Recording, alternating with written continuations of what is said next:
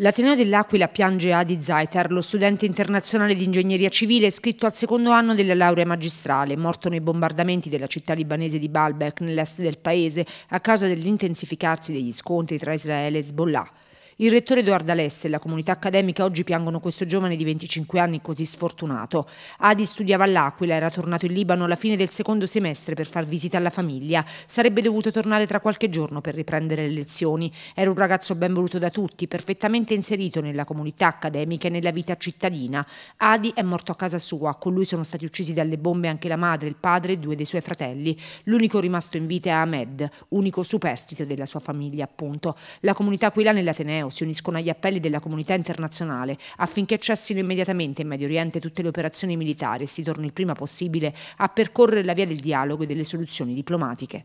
Adi era un ragazzo solare, mm, gentile e veniva veramente apprezzato da tutti, aveva stretta amicizia con tutti, sia con noi della comunità aquilana sia con tutti gli altri studenti internazionali e mm, Veramente era un ragazzo pieno di, di, sogni, di ambizioni, era venuto all'Aquila per studiare, suo, stava per iniziare il secondo anno di ingegneria civile.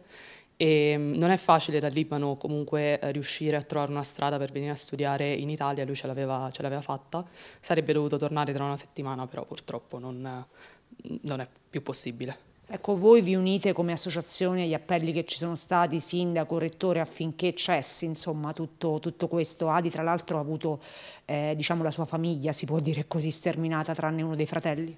Sì, esatto, noi ci uniamo all'appello internazionale ormai di far cessare queste, queste guerre che portano solamente ulteriore violenza e crudeltà e purtroppo quello che è successo a Adi deve essere testimonianza di quello che può succedere a una qualunque famiglia mh, libanese o del Medio Oriente in generale e veramente a rimetterci in queste guerre sono sempre le persone indifese, i civili che non hanno nessuna, nessuna colpa. Anche il sindaco Pierluigi Biondi ha espresso il suo cordoglio. La comunità di Baalbek è gemellata con l'Aquila, fu ospite del capoluogo qualche anno fa per la perdonanza.